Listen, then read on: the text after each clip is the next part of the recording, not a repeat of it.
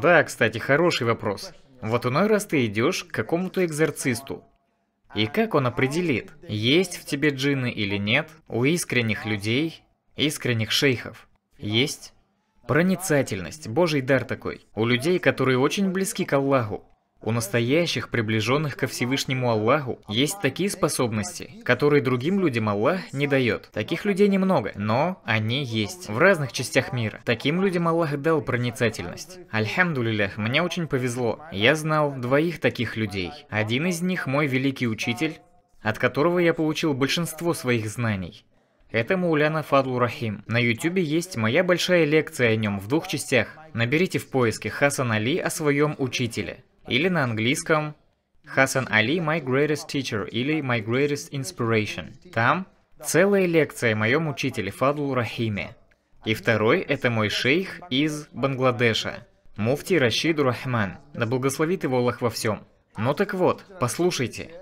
Один из случаев, который произошел с моим учителем Фадлу Рахимом. Мы учились в закрытой школе в Ноттингеме. В 94-м или 95-м, 96-м где-то так. И там был шейх. Причист Аллах, настолько светлый человек был. Это был один из самых приближенных к Аллаху людей. Мы жили в огромном здании. В нем мы учились, в нем же и ночевали. На фаджр он приходил первым и садился в первом ряду. Он поминал Аллаха и ждал, пока начнется утренний намаз. Читал сунну, садился и не оглядывался. То есть он не видел тех, кто пришел на намаз, тех, кто не пришел. На фаджр приходило примерно 200-250 учеников. Читали фаджр и расходились по комнатам. И шейх тоже шел в свою комнату. Это было рано утром, часов в 5-6. В 8 утра у нас начинались уроки. В 7.40, 7.45 примерно. Мауляна Фадлу Рахим уже стоял в коридоре. Да помилует его Аллах и дарует ему высший рай. Скажите амин. Он умер примерно года 4 назад, в 2015 -м. Мауляна Фадлу Рахим, да помилует его Аллах, стоял в коридоре и приветствовал студентов. Давал им салям. Студентов, которые не прочитали утренний намаз. Мауляна Фадлу Рахим, когда приветствовал, приближал к себе и говорил тихонько, «Иди прочитай фаджр».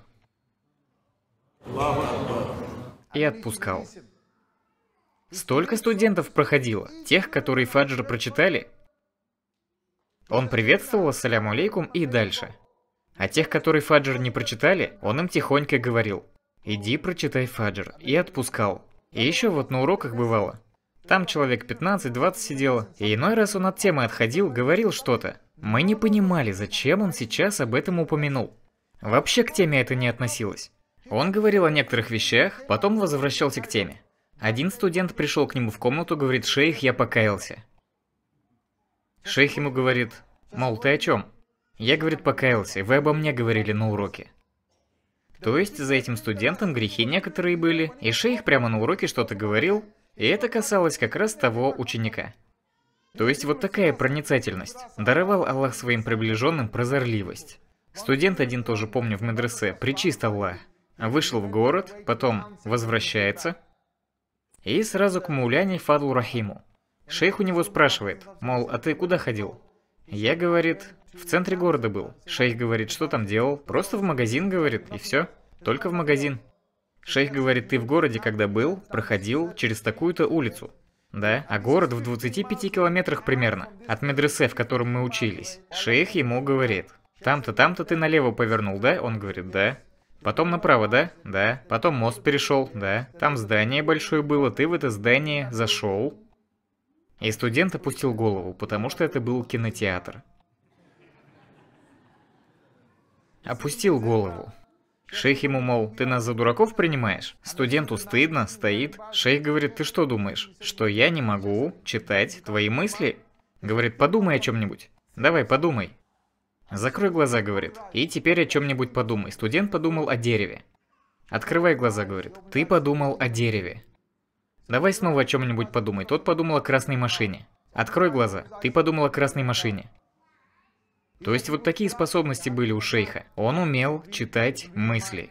Аллах даровал ему это. Он так близок к Аллаху был. Что Аллах даровал ему такие возможности. Я это к чему? Посредством таких способностей приближенный к Аллаху может узнать, есть в тебе джинны или нет. Мауляна Фаду Рахим сказал мне, когда человек очищает свое сердце от грехов, очищает, очищает, очищает его, пока оно как зеркало не станет. Когда такого уровня достигаешь, то с человеком, когда каким-нибудь общаешься, например, то, что у него в мыслях отражается в твоем сердце.